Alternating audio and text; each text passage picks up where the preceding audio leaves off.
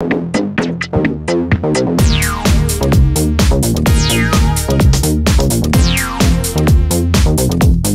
講座始まりました。もちろチャンネルです。今回はですね、はい、背景知識講座の第2回目になりますね。えー、今回はですね、これ。脳の半球優位性っていうのについてね、話そうかと思いますね。これ結構流行り廃りがあるかなっていう感じなんですね。まあ、そういうの、 lateral とかですね、 lateralization とかっていうふうに言ったりするんですけど、どちらかの脳がですね、 dominant であると。まあ、 dominant hemisphere なんて言ったりしますね。 hemisphere。半球ですよね。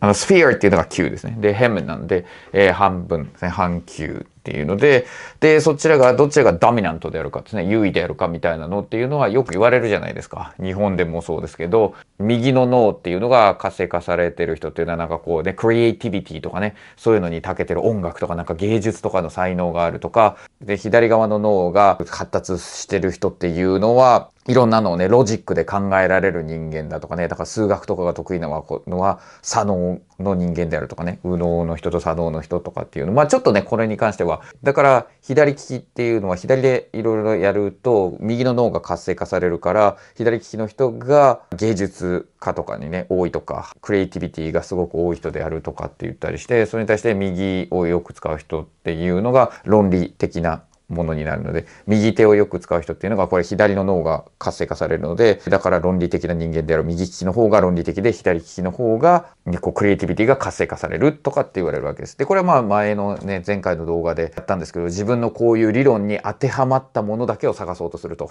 人っていうのはだからそれによって東大に左利きが多いとかだから左利きの方がやっぱ天才なんだとかっていうふうに思っちゃうよなんていうのは言いましたがまあこういうやつですねもう最近ではだいぶ間違ってるんじゃないかと思われてきていて、それに関する英文が出てくることが多くなりました。えー、今回、兄弟の2020年の問題にも、それに関する記述が出てきていますし、旭川医大の方にも出てきていますね。まあ、脳っていうもの自体はいっぱい出てくるんですよ。2020年だけでも恐竜の医学部だったり、青学の理工だったりとかいろいろあったんですが、旭川医大っていうのがね、すごく面白かったんですよ。旭川医大の内容っていうのが、いわゆる平均的な脳はないっていうね、話なんですよ。この average ですね、平均っていうものを疑えっていうのはね、だんだんだんだん出てきていて、例えばですね、脳の話ではないですけど、2019年の早稲田の法学部、2019年ですね。19年にも平均的な、平均的な体っつうのがないっていうのがトピックでしたね。アメリカの空軍のですね、飛行機事故がすごく起こっちゃうんで、それの原因は一体何なんだっていうふうに調べてったら、コックピットっていうのがパイロットたちの平均値で作られていたと。だ平均値で作られていてやったんだけど、いろんな寸法を測ったら、全ての寸法で平均値以内に収まる人っていうのが誰もいなかったっていうことですね。だから平均っていうものに踊らされるんじゃないっていうね。だ平均っていうのに従ってコックピットを作ったっていうのが原因で事故がすごく多かったっていうのが出てるんですけど、そうです。だからこれもそうなんですね。脳の平均的な脳っていうのをいろいろと研究してですね。まあここに言語野があるとかよく言いますよね。言語の。まあ私認知科学アメリカでやったんで脳に関してすごい勉強したんですけど、で、そういう平均的な脳はないっていうですね、みんなが同じだっていうものはないんだっていう話だったんですよ、これがね。で、だから右がドミナントで左がドミナントとかですね、そんなものはないっていうね、そういう考え方が今は主流になってきます。両方とも同時に動いてるんだっていうね、考え方が主流になってきてるし、実際に言語やとか視覚やとかの視覚に関わるところとか言語に関わるところっていうのはこの辺の部位にあるんだとかっていうのも、だんだんだんだんですね、違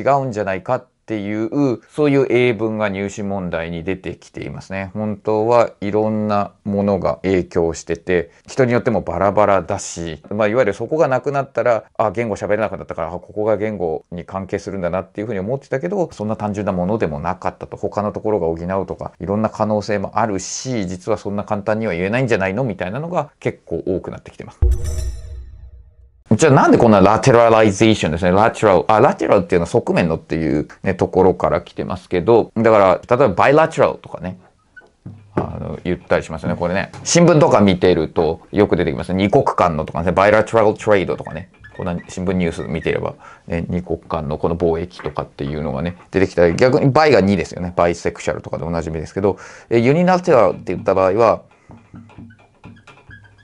uni は1を表しますから、ね、くっつくことユニットバスとかね、ユニットとか言ったりとか、ね、 unite 一つにするとかね、えー、1を表すんですが、なんで、これで片方だけなんですね。これ双方の片方のみたいな感じで出てくるんですが、右側だけ、左側だけみたいなのが lateral なんですけど、じゃあどうしてこのね、脳のこの lateralization とかっていうのが出てくるようになったのかっていうわけなんですが、まあよく言われるのは、まあ、1960年代、70年代に、この脳のね、この左と右の部分をこう間につなぐものがあって、そこを切ったりなんだりの手術術が行われたりするんですよ。てんかんの患者とかにやってたりして、で、それで、あれこれ左と右違うんじゃねえの？それぞれ別の働きしてんじゃねえの？みたいなのがだんだんだんだん主流になってったんですよ。これ60年代、70年代ですからね。あ、これね、だから TOEFL にも出るトピックですからね。でね、その時に、The New York Times Magazine っていうのの1973年のね、記事にね、出たんですよ。それで、 left brain と right brain は全然違うんだよ、みたいなのが載ったんですよ。で、そっからだんだんだんだんいろんなところでね、広がっていったんですよね。 Time に載ったりとか、 Harvard Business Review とかっていうのにも載ったりして、それによって一気に広がったんですよ。そのことから日本でもそうですね、左と右っていうのが出たんですけど、そういうのが広がっちゃったわけですね、一気に。で、今はそれは間違ってるだろうっていうふうに思われてるんですよ。今はもう右と左を分けられない。右も左も密接に関わってるものなんだからっていう、そういった考えが主流になりましたね。はい、こういうふうにね、昔は合ってると思われていたものがゴンと変わるねそういうのを科学なわけですよ。当たり前のように思われてたけど実は違うみたいなねこれ入試問題やっててよくわかるんですよ本当に、えー、あとは何？下これも入試問題出たことありますね。下の感覚あるじゃないですか。甘さは下先で苦味は下の後ろでとか、ね、いろいろ習うと思うんですけど、そんなの違うっていうのも入試問題出たことがありますね。そんな風に下はできていないっていうのが出たりとか、そうですね。今まであったものが本当はそうじゃなかったっていうね、のがやっぱ科学の面白さですね。常にね、反証可能性を持ってる falsifiability をですね、いつも持ってる falsifiability ですね。Ability